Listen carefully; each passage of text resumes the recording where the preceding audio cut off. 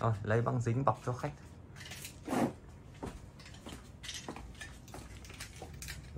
Phụ, phụ kiện phụ kiện cho phụ kiện ra cho hóa đơn vào trước hóa hóa đơn hóa hóa đơn. Hóa đơn cho cho khe.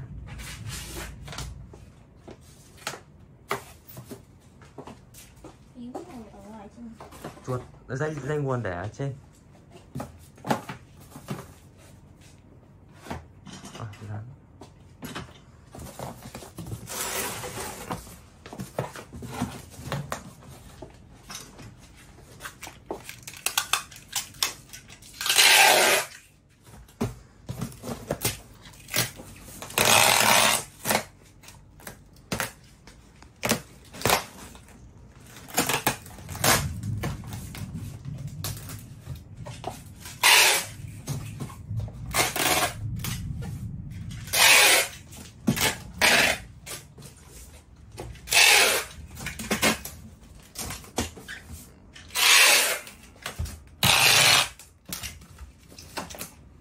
phím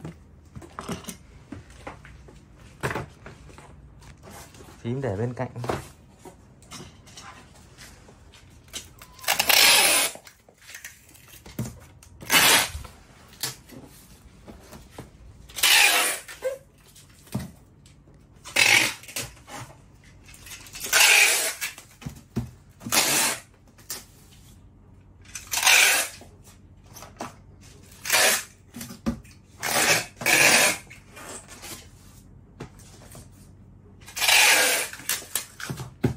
Đóng xe, à, để cốt xe nhá Hay là để đây? Chẳng hết vào đấy đi để ví dụ chẳng may người ta trong ngõ thì mình bê một chuyến.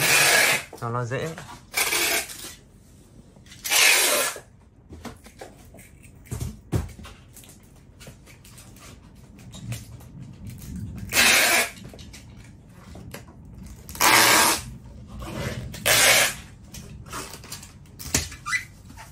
ok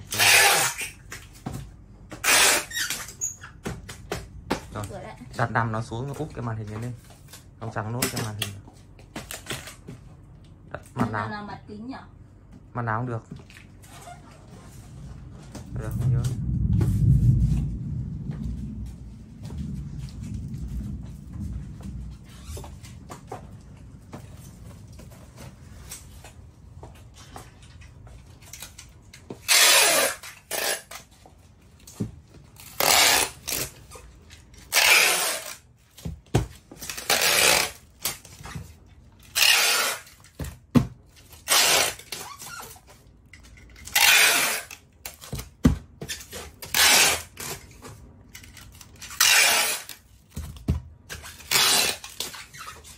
ok thế là chắc chắn rồi.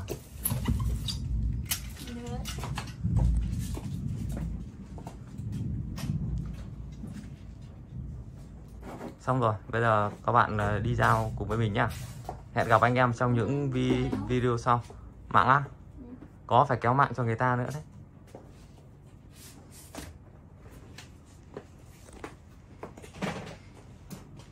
Trời sắp mưa rồi, mình có tranh thủ đi luôn bằng xe máy các bạn ạ chỗ này, mình nghi là ngõ bé nên sẽ không đi đồ ô tô. Nên thôi, chấp nhận là mưa phải báo mưa thôi.